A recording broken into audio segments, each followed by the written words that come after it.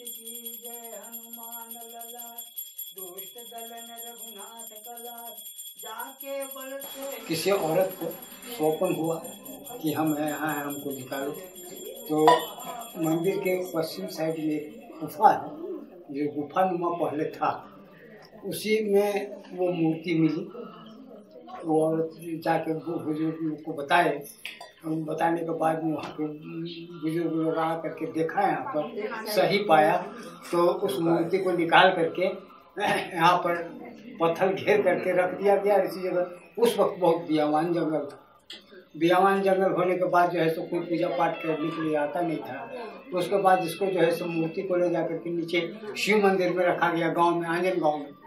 और वहाँ जो है सो पूजा होने लगा।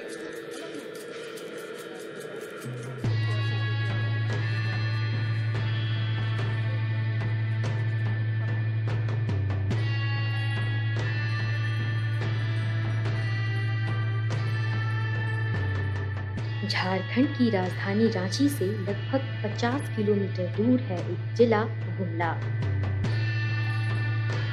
और इस ज़िले से लगभग 20 किलोमीटर दूर है एक गाँव, जिसका नाम है आंजन। दरअसल इस गाँव के नाम के पीछे एक दिलचस्प कहानी जुड़ी है।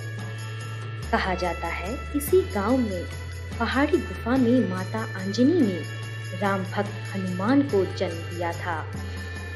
इसी कारण इस गाँव का नाम पड़ा आंजन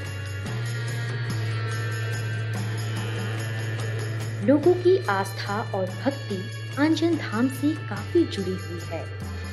तभी तो हर मंगलवार को सैकड़ों की संख्या में श्रद्धालु हनुमान जी के दर्शन के लिए मीलों पैदल चलकर यहाँ आते हैं।